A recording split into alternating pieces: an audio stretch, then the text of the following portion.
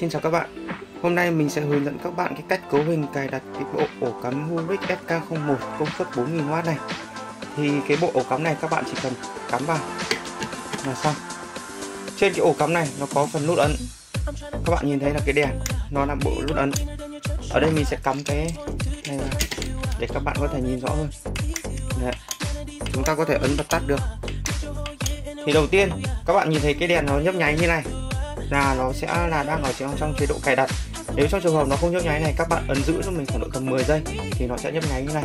Sau đó các bạn tải cái app Hulic ở trên ứng dụng điện thoại về.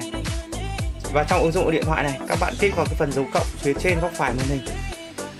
Chú ý các bạn là ở trên điện thoại các bạn hãy bật cái chế độ bluetooth của điện thoại lên để uh, cái app Hulic này nó sẽ quét được cái ổ cắm Hulic này. Bởi vì cái ổ cắm này nó sẽ phát ra một cái bluetooth gần.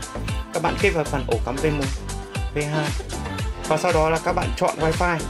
Các bạn chú ý là với wifi thì các bạn phải chọn là wifi 2.4 GHz nhé wifi 25 GHz là sẽ không sử dụng được.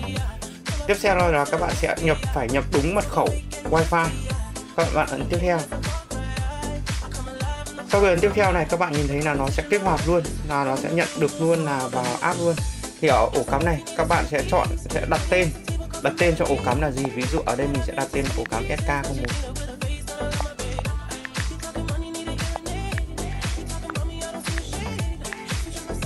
và các bạn chọn phòng. Ở đây mình chọn là ví dụ là value demo và các bạn hoàn thành. Đấy, và khi hoàn thành rồi thì các bạn vào cái phòng này.